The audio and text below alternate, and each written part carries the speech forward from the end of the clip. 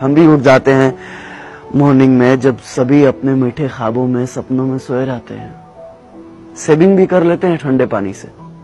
बिना गाल का परवाह किए हुए रगड़ते रहते हैं जिलेट से। माँ, आजकल हम वहाँ रहते हैं जहाँ कोई नहीं रहता। कभी माइनस बीस डिग्री में तो कभी जंगल में। कभी चाइना के आसपास तो कभी पाकिस्तान के आसपास। मेंटली एजाइल और फिजिकली दोनों फिट साला कितनी खुशी होती है ना जब दस दिन की छुट्टी पे घर आते हैं। कभी बुआ के घर तो कभी मौसी के घर, कभी इधर तो कभी उधर। कभी खुद को समय दे ही नहीं पाते। मिलते ही रहते हैं ज़िंदगी भर लोगों से। लोगों से मिलने के चक्कर में कभी खुद से मिल ही नहीं पाते हम। फौज में काम करते करते हम इतने सिंसियर हो जाते हैं कि पब्लिक ठगना स्टार्ट कर देती है। दस का सामान बीस रुपए में बेचते हैं दुकान वाले। कनपट्टी के पास छह बाल देखे नहीं कि सामान का रेट बढ़ जाता है। क्योंकि वे जानते हैं कि ये फौजी लोग हैं बार्गेनिंग करना नहीं जानते। और सच कहें तो हमने कभी मोल भाव करना सीखा ही नहीं। बस हर सिचुएशन में एडजस्ट कर लेते हैं। जो दोस्त हमें दोस्त समझते थे, आजकल वो हमें कैंटीन समझने लगे हैं। लेकर कार्ड और दारू से ज़्यादा हमें किसी ने समझा ही नहीं।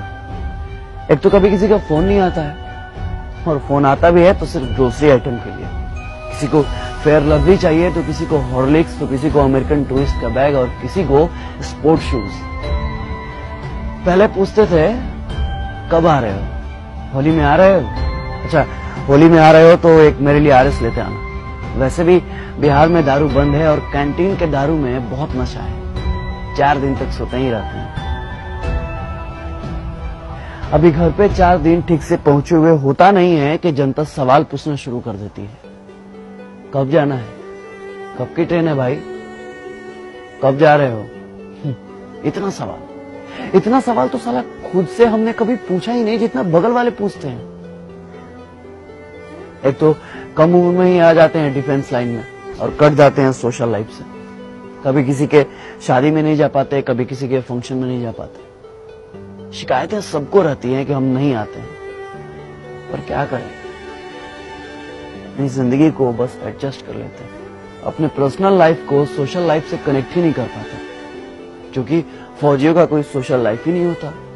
अरे कंफर्म टिकट की तो दूर की बात है, सारा तीन महीने पहले छुट्टी तो कंफर्म है। और हाँ यह सब हम कुछ बोल भी नहीं सकते। क्योंकि फौजियों के लिए छुट्टी एक प्रिविलेज है। मौलिक अधिकार नहीं जितना हमने संविधान को समझा है ना, उतना संविधान ने हमें समझा ही नहीं। हमारे अधिकारों में टर्म एंड कंडीशन अप्लाइड कर दिया गया।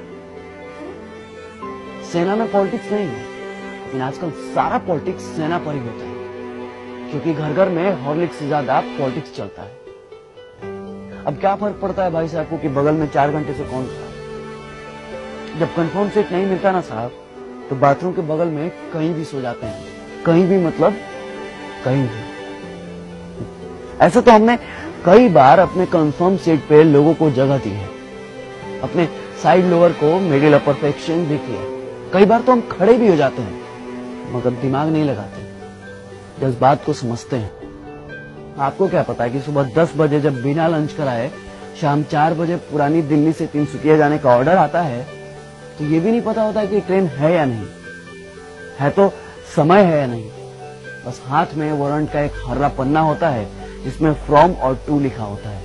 ये नहीं लिखा होता है कि किस ट्रेन से जाना है और ये रहा आपका कंफर्म सीट नंबर बस चल देते हैं जय हिंद बोल के। हम आपसे आपका सीट नहीं मांगते। थोड़ी सी कोऑपरेशन मांगते हैं, थोड़ी सी उम्मीद मांगते हैं, बस थोड़ी सी दिल में जगह मांगते हैं। फौजी समझकर?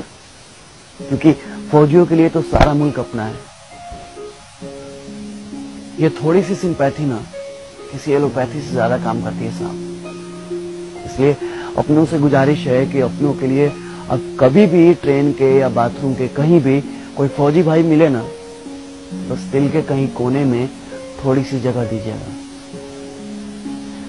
जय हिंद, जय Bharat. If I die in a war zone box me up and send me home. put my medals on my chest. Tell my mom I did my best.